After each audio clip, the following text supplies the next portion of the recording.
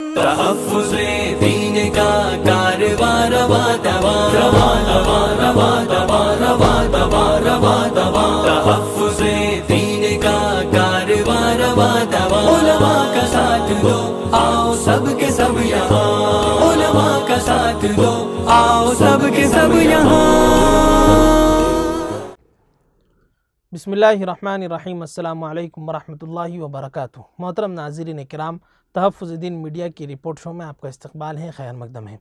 ناظرین، مولانا محفوظ رحمان فاروقی خلیفہ مجاز مرشد محمد حضرت مولانا محمد رابع حسنی ندوی دامت برکاتہم تین روزہ پروگرام کے تحت لکھنؤ تشریف لے گئے۔ دارالعلوم ندوۃ العلماء کے ناظم و صدر، مسلم پرسنل لا بورڈ حضرت مولانا محمد رابع حسنی ندوی دامت برکاتہم سے خصوصی ملاقات کی اور مختلف مسائل پر تبادلہ خیال کیا۔ کئی اہم مشورے لیے اور ان کی خصوصی مجالس میں شریک رہے آپ کے ہمراہ برادر صغیر مولانا محمود رحمان فاروقی ندوی مترجم، سعودی کونسلیٹ ممبئی بھی تھے۔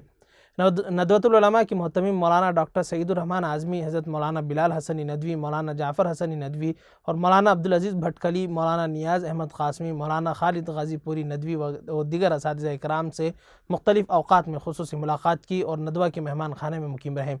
حضرت مولانا عبدالعزیز بھٹکلی نائب محتمیم کے زیر نگرانی سلیمانیہ ہال ندوۃ العلماء میں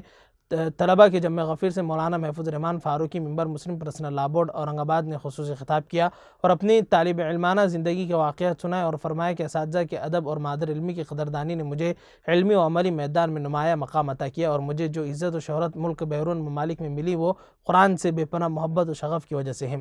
بفضلی تعالی تین مرتبہ عالمی مقابلہ اقرات میں حصہ لینے اور ساؤتھ افریقہ میں تراوی پڑھانے کا شرف بھی ملا اور دو بزرگوں سے روحانی تعلق و نسبت کی وجہ سے اجازت بیت و خلافت ملی اور اکابر علماء کا اعتماد بھی حاصل ہوا۔ حضرت مولانا عبدالعزیز بھٹکلی ندوی صاحب کے اصرار پر مولانا محمود الرحمان فاروق ندوی نے بھی اظہار خیال کیا اور اپنے اساتذہ کی محنت اور مادر علمی ندوۃ العلماء کی زندگی کے مختلف گوشوں پر روشنی ڈالی اور طلبہ کو احساس کمتری سے نکلنے کا فارمولہ دیا اور اپنے سفر ناموں کی مقبولیت کا کریڈٹ ندوہ کو دیا۔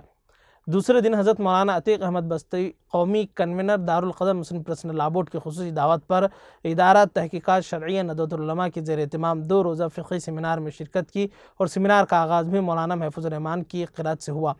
جس کی صدارت حضرت مولانا خالد سیف اللہ رحمانی خلیفہ مجاز مرشد امت، حضرت مولانا محمد رابع حسنی ندوی نے فرمائی اور مولانا نیاز احمد ندوی، شیخ الحدیث اور مولانا خالد فیصل ندوی نے ضیافت کا اہتمام کیا۔ اس طرح اس علمی اور روحانی سفر کا اختتام ہوا۔ رپورٹ ٹیم تحفظ الدین میڈیا اورنگ آباد